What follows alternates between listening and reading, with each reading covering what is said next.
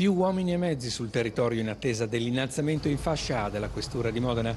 Il ministro dell'Interno Matteo Piantedosi ha partecipato in prefettura al Comitato Provinciale per l'Ordine e la Sicurezza Pubblica, rispondendo all'appello del sindaco Muzzarelli preoccupato per la tenuta sociale dopo l'aumento di episodi legati alla criminalità, 50 i nuovi arrivi che raddoppieranno entro fine anno. Quindi è ragionevole pensare ai 50 già dati che entro l'anno, e questo è l'impegno che ho preso col sindaco, gli organici delle forze di polizia a Modena siano rafforzati come numero di 100 unità di personale nette, doppio binario, tanto per, da subito incremento degli organici e in prospettiva entro il 2024 anche l'elevazione di fascia eh, della Questura di Modena. L'impegno che hanno assunto è quello di passare da 1 a 500 a 1 a 400 poliziotti e forze dell'ordine sul territorio provinciale. Io continuerò a monitorare il nuovo corso di economia, di socialità e di sicurezza che Modena merita. Sul fronte dell'immigrazione il governo punta alla gestione dei flussi grazie ad accordi internazionali, dice Piantedosi.